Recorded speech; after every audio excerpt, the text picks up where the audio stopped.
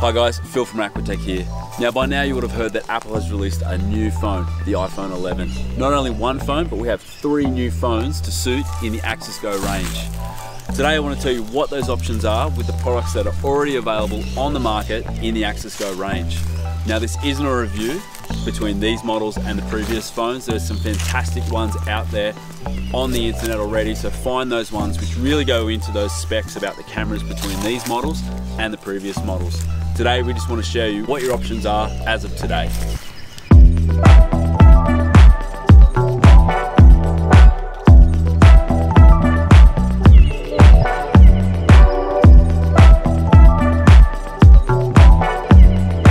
So today to help me with this video, I've enlisted the help of one of our great female ambassadors, Kate Myers. Hello. Kate is not only a fantastic photographer, but she's a fantastic storyteller, educator, and a really valuable asset to the team. So it's great to have you here today. Thanks for having me. First up, the biggest question we've been getting lately is what are my options with the new iPhone 11 models? So the short answer to that is we have you covered straight away. You can get in the water today with what's available in the AxisGO range. The iPhone 11 works in our AxisGO XR housing. The iPhone 11 Pro works in our AxisGO XS housing. And the iPhone 11 Pro Max works in our AxisGO XS Max housing. So there is one really important point that we need to make straight up and that is that the new ultra wide camera on the iPhone 11s will not work in the AxisGO. Now I know that's disappointing to a lot of people because it is a great new feature, but basically the positioning of this lens and also the super wide field of view will render that you either cannot see it through the standard lens on the port, it's gonna be covered.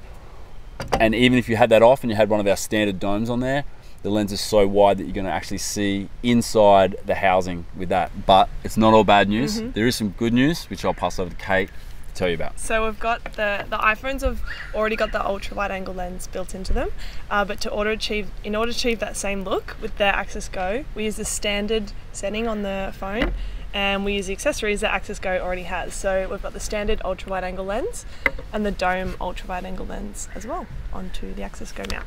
And this afternoon we'll show some examples with and without those AxisGO lens accessories, just to show you those comparable views as well. So although the ultra wide angle lens doesn't work in the housing, the tele lens or the two times zoom still works just as normal, uh, allowing you to get those really tight shots and zoomed in shots. And also it's worth mentioning that the portrait mode on all three of the phones will work as expected as well. So you can get those nice uh, kind of blurred backgrounds mm -hmm. um, by utilizing either the tele lens or the standard lens in the new phones as well, give you that same portrait look as well. Um, the new swipe gestures yep. on the phone are also, uh, they work as you'd expect, allowing you to access all those new controls on the phone by either swiping up or down, giving you more manual control. Also the front facing camera, which has been improved now, mm -hmm. so you mm-hmm. can shoot 4K video with the front facing camera or slow-mo, if you want to take some slow-mo selfies. Uh, also, but it's worth noting that it does go wider when you oh. tilt it horizontally. So you can still get that same view with the AxisGO. Mm -hmm. So I'll be sure to show you some uh, lovely selfies this afternoon. Absolutely. and just show you about that wider view as well. So although Apple have added some really great features to the phone, they've actually taken away the burst mode, which is like really important for AxisGO users, which enabled us to create a whole sequence of shots um, just by using the volume button. Yep. yeah. So what that burst mode allowed users to do was to basically hold down the pistol grip from the AxisGO and hold that down and shoot a burst or a sequence of photos. Um, but you can't do that now. Thanks. Uh, what we can do is access that through the touchscreen on the back and you simply drag down on the phone icon. Okay, so sequences, you go like that. We're going to test that this afternoon and just kind of give yeah. you some feedback on if that's an option, how that works. Um, other than that, there are some great apps out there we hope that you can still use mm -hmm. to access um, the burst mode through the volume. If you do know of any of those, be sure to leave them in the comments below or let the staff know and we can share that with our community. Um, and if you're a developer, please develop that app for us. Uh, we would love it to be able to still shoot burst through here. So hopefully there's some options out there. Whoa, there's some wildlife here. This afternoon we're going to go out here at the pass. Um, I've got some friends that are coming down to longboard for us and yeah we're going to test out some of the features, uh, see how the portrait mode works, the telephoto uh, mode works and we might shoot a bit of video. We'll see what happens. And we'll share some of those images with you. Yeah. Give you a little recap. okay, so we're down here, we've got all these choices. What do you want to go with first? I think I want to try the 11 Pro Max first. Okay. Uh, just with the standard lens. Okay, no yeah. worries. Yeah. Um, so that's going to need the AxisGO XS Max mm -hmm. housing. Um, and I'll let you load that one up. Sure. You can go for it. I'm going to go for the 11 Pro and I'm going to use it with the pistol grip still. I'm going to try just like pop off some shots with it. Also start, stop, record, test out that function a little bit. And I'm also going to chuck on the wide angle lens uh, just to get this different point of view now with this kind of strange light and try to get a little bit of action for now.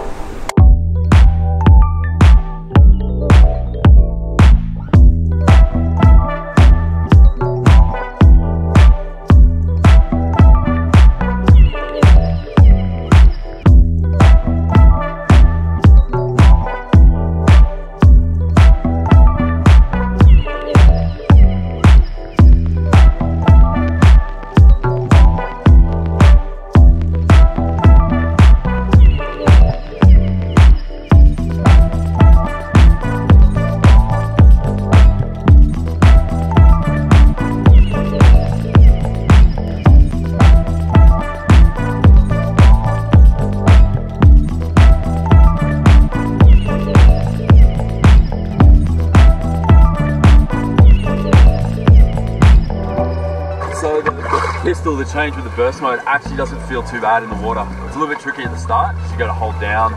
You want to take photos, but it starts and stops video. That actually feels pretty nice. Um, the swiping down feature, it actually works really well um, due to the touch screen. It doesn't have the same ergonomics as a pistol, but it definitely, like it's responsive and it works good. You just got to get used to it, I think.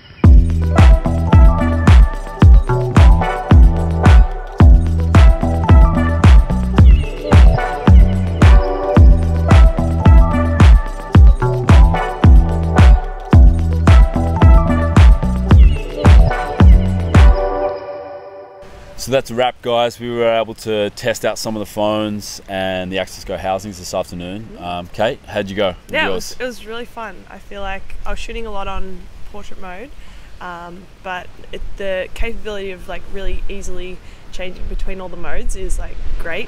Um, and yeah, the telephoto worked really well. Um, yeah, it was cool. It was cool to just to like experiment out there yeah, I'm excited to see the photos that I got. yeah, we haven't actually checked out any of the shots on um, you know a computer or anything like that yet. We just had a look in the surf, and like I just found like everything with the new phones just felt a little bit snappier. Yeah, like switching definitely. between modes and being able to go like you know photo, video, things like that just seemed to work just a little bit faster. Yeah. Between it. Yeah. Um, the whole thing with the pistol grip and the burst mode, it actually wasn't too bad when you're out in the surf. Mm. Um, I actually really liked it for video. Yeah. Being able to hold it down to shoot video and then take it off when you want to stop. It felt pretty natural. So if you're a video shooter, I think that's an advantage yeah. rather than hindrance at all. Yeah. Um, and the whole swiping down to shoot a sequence, um, obviously you don't have that same one-handed kind of ability to do it. But I found myself kind of holding it and swiping it down with my thumb, and it seemed to work really well yeah. in the surf. Um, I used the wide angle on the 11 Pro. And you know, it gave me that nice wide shot. Mm. Um, you are obviously limited to just having that one kind of wide point of view of shots. Um, it wasn't ideal conditions for the dome no. out there at all, so I just used this, uh, the standard ultra wide, which has the same optics. Um, and yeah, I, I, was pretty impressed with how it all worked and everything. You know, the touchscreen and you know turning the phone, powering off, powering on, everything was seemed pretty seamless Sweet, yeah. in it. Yeah. So if you do want to jump in the water with the new iPhone 11s, mm-hmm. any of the three models, uh, we have products as of today that will work, as you've just seen today. Mm-hmm. It's a little bit confusing, as Kate will Kate will back me up there, but um, your options are, and we'll have something at the end which will clearly explain these options as well. Um, if you're going to use the 11 Pro, which is this phone here, you want to get the AxisGO X XS. So for the 10 10S, that will work with the new 11 Pro. Yeah. All right. Um, if you are going to use the 11 Pro Max, like you used this afternoon, or just the standard iPhone 11, you need to get the AxisGO for the 10s Max 10R. Now, this housing actually ships with a spare set of bumpers, like this included, which allows you to use either the bigger phone or the Yeah. smaller phone. So it's a little bit confusing, as you will understand, but there is an option um, to use any of the new phones as of today. And as I said, we're going to link at the end with a clear Make chart. simple. Yeah, make it simple. Yeah. Um, so if you do have any questions, be sure to hit us up. Yeah. Um, our staff know all the options and have you covered. And if you have anyone that's asking about the new iPhone 11, um, share the video, let them know, help help them out, share the Mm. Spread info, the word. And um, hopefully we're going to get Kate back for a few more videos. Sure, I'd Have love it- to. Have her testing out some more equipment down the line, and um, yeah, like and subscribe as always. It really helps these videos get out to more people and helps the channel grow. And hopefully we can um, help you out and see you in the water soon.